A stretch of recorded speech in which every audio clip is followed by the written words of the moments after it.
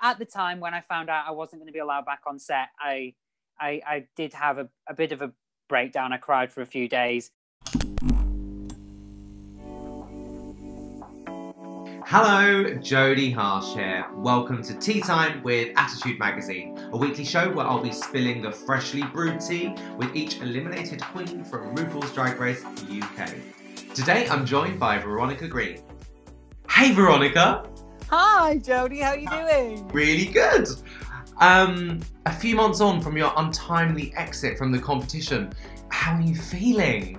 I, am feeling quite good now. I, I yeah. Watching it back, I was I was kind of like covering my eyes, doing that thing of oh, I don't want to watch it, I don't want to watch it. But then once yeah. the moment passed, I was like, oh gosh, that went by a lot faster than I thought it was going to. At the time when I found out I wasn't going to be allowed back on set, I I, I did have a, a bit of a breakdown. I cried for a few days, but you know I'm I'm a positive person, and I, I picked myself up and and carry on eventually, you know. Were you allowed to keep in touch with other queens during lockdown?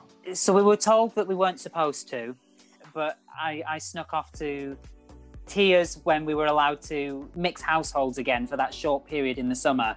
So, uh, so me and Tia had a. You didn't talk about the show, of course. You didn't talk about the show. No, of course we did not talk about the show at all. No, um, to be yeah. honest, we, we didn't really talk about the show. We, we, we had we, we wanted to become friends and and learn about each other because we want to work with each other outside of the show now for sure. Can't wait to see that.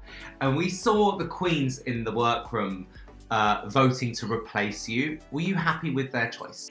Yeah, I mean, ultimately, you could have picked any of the three, and I think I think people are going to be upset and happy either way. Every mm. single one of those competitors could could could go back in and compete. Who would you have voted back in?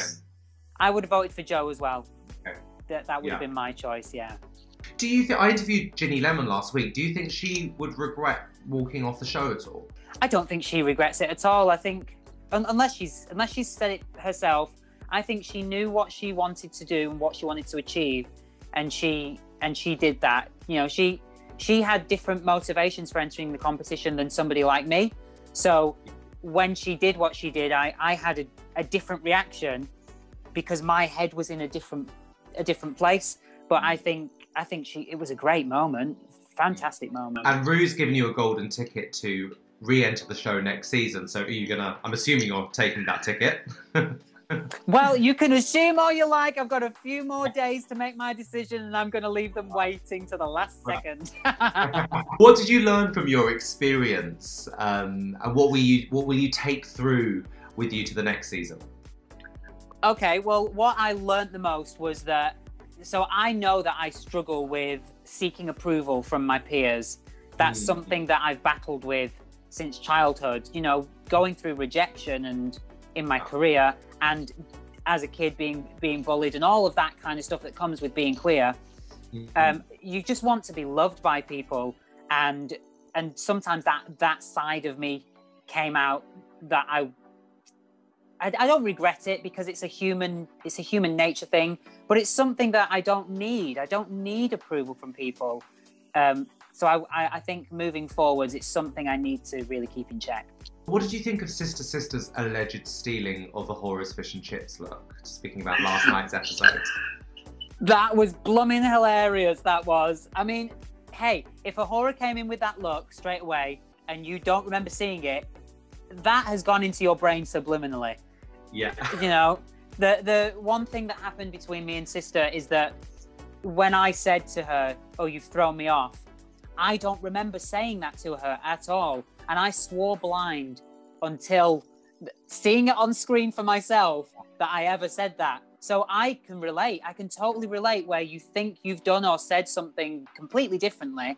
I'm sure yeah. that she, I'm sure that it's just entered her mind subliminally and then yeah. and then she's thought, oh, this is a great idea, not knowing where the inspiration came from. Yeah, there seemed to be a lot of tension um, mounting between you and some of the other queens before your exit. Um, I think Tayce called you cocky at the start of this week's episode. She called me a cocky slag, and I'm going to wear that as a badge of honor.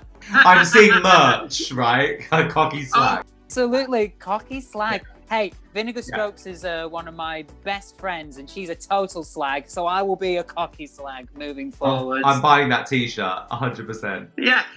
Um, we also saw we also saw Sister Sister say that Veronica's Drag Race would be really boring.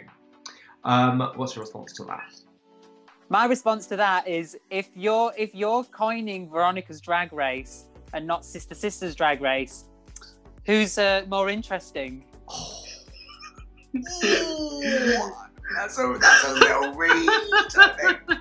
I think we'll leave it there. I can't wait to see more of you. Thank you so much for coming on and chatting to us today. No, thank you so much for having me. I really appreciate it. Thank you. See you later. Thanks for watching Tea Time, served to you by Attitude Magazine. Tune in next week for another cup of scalding hot content with me, as I'm joined by the latest queen to be given the chop from RuPaul's Drag Race UK. See you then. Like, comment, and share the video with your best squirrel friends.